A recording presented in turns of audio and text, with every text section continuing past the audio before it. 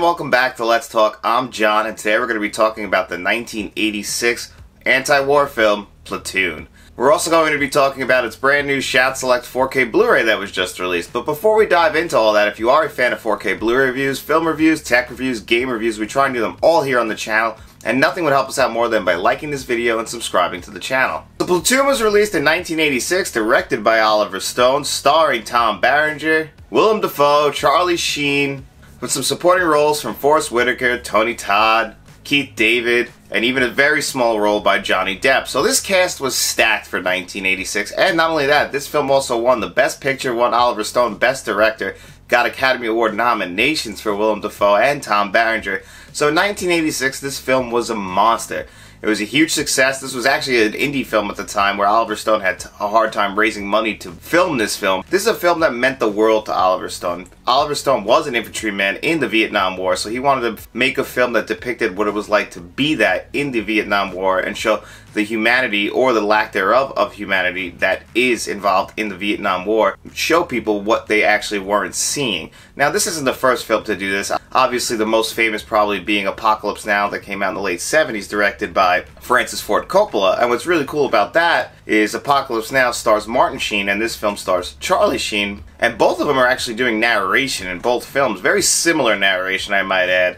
So I don't know if Oliver Stone was a fan of Apocalypse Now and he wanted to actually thought, okay, Charlie Sheen does sound similar to Martin Sheen, and it would be good to get some narration and get into his mind, just like we got into Martin Sheen's mind in Apocalypse Now. So it kind of felt very similar to me in that vein. This isn't my first time seeing Platoon, but I was never the biggest Platoon fan. I actually, as far as Oliver Stone movies go, I believe my favorite one is JFK. I've seen JFK a ton of times. I saw it at a way too young age, too. I remember I was watching this when I was like 13 and not really understanding the ramifications of the film and everything that they were trying to depict about the JFK assassination and, and conspiracy. I just really enjoyed the acting of the of that film. I really enjoyed Kevin Costner in that movie. I thought he did a great job. I just really enjoyed that film. I go back to JFK all the time, and that's a really long movie. This film is up there for me as far as Oliver Stone films. You know, he's directed some other classics too. It's really hard. This guy has won Best Director twice. He won again for the Born on the Fourth of July, which I believe was the next film he did uh,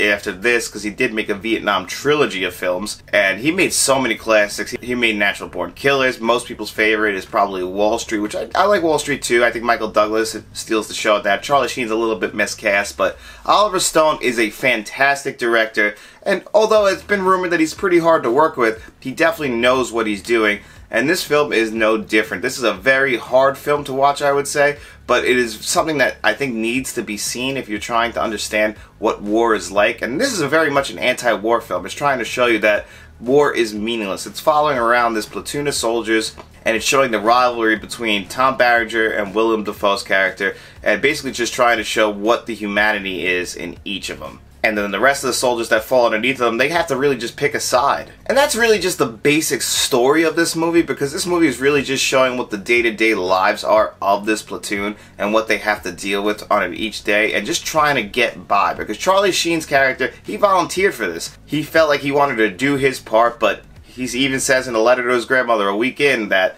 this is nothing like he was expecting. I think that's what Oliver Stone is trying to tell us is that we, for the most part, we see all the glamour and all the rewards of war and like what it could bring and having pride for your country and all that stuff. When really, war for the soldiers in the war or people living in these towns, especially in these Vietnamese towns, what they had to go through and what the soldiers were forced to do or what they felt like they were forced to do for their country and just basically taking the humanity out of these men and what they had to deal with on a day-to-day basis like you might go in there one way and you're not coming out the same way. This is something that we've seen depicted in film many times but it really is hard to see in this film because of just the things that these soldiers had to do. The big one being when they actually have to go into a town and then they end up killing a lot killing everyone in the town and burning the town down and just ruining their lives. For what they think is for the greater good even though Willem Dafoe knows that this is the wrong thing to do these soldiers have to follow the chain of command and they're forced to do things that even if they never wanted to do it they have to do it. And it is very hard to watch. Now one of the most famous images from this which is depicted on many of the posters. Not on this particular poster but on many posters is Willem Dafoe being shot down and then him having his arms waved in the air like this. It's one of the most famous images in film, and that that is such a powerful scene. The score swirling in on that, it is amazing, and there is no reason to think that that scene is any less than what is depicted over 35 years ago. It's still powerful now. That scene was awesome. I really did. I was like, okay, it's getting a little bit ridiculous because they shot him, I think, like 15 times and he's not going down, but it really just showed the will of this man to live and to really because, you know, he got shot by his own brother in his mind. Even if him and Tom Berenger don't get along, for him to get shot by him and then to still escape and almost tell people like what this man did to him it's just it's hard. It's hard because like Tom Berenger does seem like the villain, but what led him to be that? And what that's what Oliver Stone's trying to tell you is that this war basically took the humanity out of this man, and it is just such a good film for that.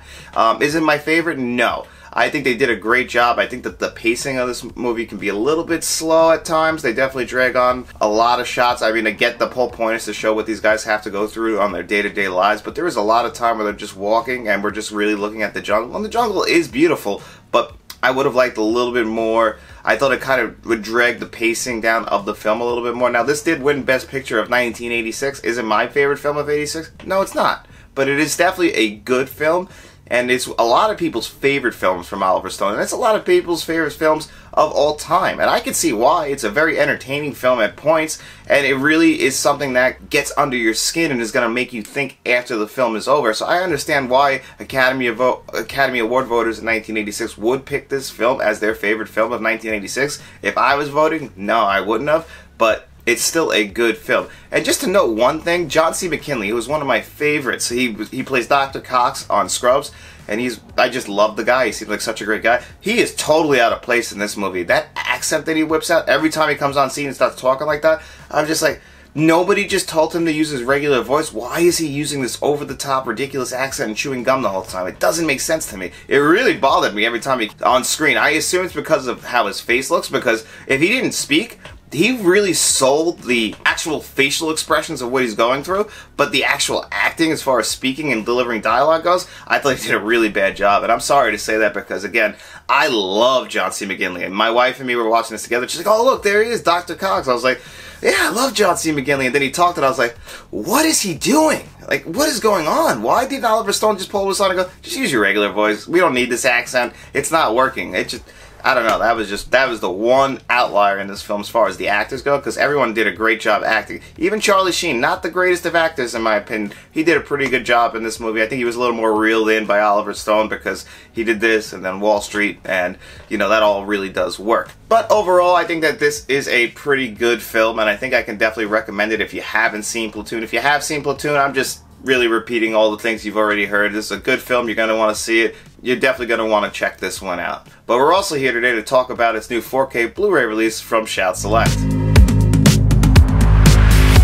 On September 13, 2022, Shout Factory through their Shout Select brand has released Platoon on 4K Blu-ray. Now this isn't Shout's first dive into Platoon. Actually, this is the scan they did in 2018 for their release that Oliver Stone actually gave the stamp of approval to. This is just that scan with HDR and Dolby Vision on it. Now if you go on Blu-ray.com, it's going to tell you that this only has HDR on it and it doesn't tell you what the audio is. It does have Dolby Vision. I double checked that. And the Dolby Vision actually does some pretty good work in this. I think the Dolby Vision is actually way better than the HDR10 that's on here because I tested them both out. The Dolby Vision definitely makes the resolution and the colors really pop on here. The resolution was very clear. And I was at one point, I got up and I went and looked. And I was like, okay, this is very minimal film grain on certain scenes, mainly in the day scenes when they're outside the jungle. And it was very noticeable in the beginning of the film when they first are showing the jungle and they and their camo really matches up to the leaves of the green. That was beautiful. I thought, okay, wow, we're in for a real treat with this transfer. And for the most part, it is a good transfer. There are certain scenes where the Dolby Vision and the HDR kind of, I think, made the film grain look a little bit bad. There's one scene in particular that sticks out in my mind where Willem Dafoe and Charlie Sheen are in the dark and they're talking, and at one point it kind of looks like like one big wind of snow flew over it because the film grain just kind of blew in real quick and then it kind of calmed down. But it was really only in the dark dark scenes that that was kind of an issue and I thought the Dolby Vision would actually fix that so it seemed like it was kind of working in certain spots really well, and in other spots it was working not the greatest in my opinion. the daytime scenes, which most of this movie takes place in the daytime, or at least very well lit scenes, that that really isn't an issue, and it really does make everything pop and look beautiful, almost too realistic. There was a point because this film is filmed in the Philippines where I was like, it looks like they're on sound stages. That's how good it looked because it just was so clear. It felt like you were there, which I think might actually take a little bit away from this film. I've only seen this film on VHS, DVD, and on streaming services, so I've always kind of seen this film where it kind of looks a little dated and old because it's a 1986 film. Whereas now, as Dolby Vision at points, this looks like you're in the Vietnam jungle, which is awesome. I, I, was like, okay, wow, they did some really good work. But I do think it takes a little bit away from the film itself because when you're watching a movie, you want to kind of, you know, take yourself out, get wrapped up in the film. You don't want to feel like you're there. But on the other hand, it is extremely clear. Uh, most people, I'm sure, are going to love this, that you get to see how clear and beautiful the resolution is on this and how the Dolby Vision makes the colors pop because it is a very beautiful looking movie in general. It's shot very well. Um, and, and, which is again, it's crazy because they had a hard time raising money for this film. So the fact that this actual film negative is this clear and Oliver Stone was able to give the stamp of approval for it, I'm sure he was blown away by how his film looks now, and I would be too because I thought the, like I said, I thought the HDR and the, mainly the Dolby Vision because, like I said, I ran them both. I think the Dolby Vision does do better work than the HDR. I still think it looked great. It was a, definitely a big upgrade as far as visuals go definitely a big upgrade, I'm sure, because I'm sure the Blu-ray disc that comes in here, I ran them both back to back on my OLED TV, and the 4K was a big upgrade from that, just because a Dolby Vision and HDR. It's actually unbelievable what that does, and the little uptick in resolution helps that so much. If you already have that 2018 Blu-ray, it's going to be hard for me to say the visual upgrade is worth purchasing because the audio track on here is exactly the same on that disc as it was now. And actually, there's something on here at the 39 minute mark as far as audio goes that I'm really surprised they didn't clean up. It just sounds like they put a denoise over the one actor who's delivering his lines because it sounds very distorted. And uh, what I think happened is in when they were editing this, or I, I don't know if it's in the original cut, but I don't remember it being there because it sounded very distorted is they were just trying to like cancel some of the background noise and unfortunately it kind of screwed up the way his dialogue sounds and it's only for a few seconds but it's on the blu-ray and it's on the 4k so that bothered me just a little bit. And the audio track for itself for a big war movie like this it's not the greatest as far as the 5.1 goes the dts master hd 5.1 this definitely would have benefited from an Dolby Atmos track, and they got Dolby Vision, so it's strange that they didn't get Dolby Atmos and we just got a 5.1 because this is a war film. You're going to want to hear those helicopter blades spinning around, bullets flying behind you, to the left of you, to the right of you, and it really didn't do that. It had some really good parts. Actually, some of the stuff that really did surprise me as far as the mix goes is a lot of the quiet scenes you would hear like them walking by the leaves and then their pants or their arms scraping by the leaves and that would come in through a different speaker and I thought, okay, they really paid attention to the little details there. It's weird that they couldn't get the really loud war scenes to sound perfect. So it's just really just juxtaposed as far as like that goes, but it doesn't take away completely from the film. I just thought that the audio track definitely could and probably should eventually get another run through, another pass through, and maybe throw an Atmos track on it because it isn't the greatest. Now, as far as extras go, all your extras are going to be on your Blu-ray disc, and for me, these are some of my favorites. Now, these are, again, no new extras. These are the same extras you've gotten before. But the shining star for me is the audio commentary track by Oliver Stone. Oliver Stone is one of the most fascinating people and one of the most fascinating directors because he's like a real rags to riches kind of guy. He fought in the Vietnam War. So just listening to him speak is very fascinating. He seems like a real down to earth kind of person. Is he a little bit crazy? Yeah, he's kind of a conspiracy theorist too, obviously, if you've seen his films. But he is extremely intelligent and it's really fun to watch and listen to him speak. So I think his audio commentary track is definitely the one you're going to want to go with. There's another audio commentary track on here as well. There's also some featurettes and some lookbacks, which uh, those are my personal favorites. Anytime you can get that on here, I would have liked a full-fledged documentary that's like two hours long, but I get that we don't get that because we do get a lot of lookbacks on the Vietnam War and Oliver Stone's thoughts, and a lot of producers and the editor all talking about making the film, and